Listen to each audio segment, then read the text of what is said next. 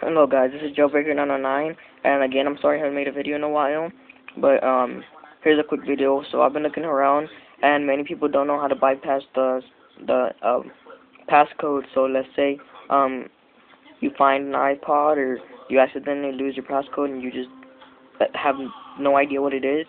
Um, I'm gonna show you how to bypass this. Now, um, if it is iOS 4.1 and it is um, a password that includes um, letters as well um, this will also work with this, so no worries there. So um, you have to make sure that your iPod is plugged in straight into your computer. So you can't see it, but it must be plugged in straight into your computer. And um, you're gonna open up iTunes, and you're gonna come right here and click Restore.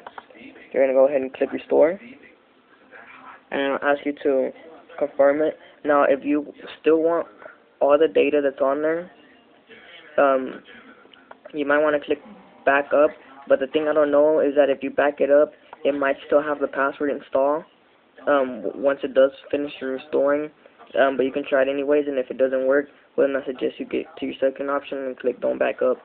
But yeah you're gonna go through the whole process um, it should take no less no more than 10 minutes um, I would estimate around 6-7 minutes and yeah guys that's the only way to legitly bypass the there are many ways out there supposedly to bypass it, but this is the only true way to bypass it. And um, thank you guys for watching. If um, if you have any questions or concerns, please let me know.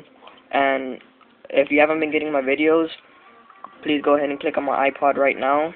My iPod screen, um, it'll take you to my channel. You can see all my latest videos because I do have a ton of new videos.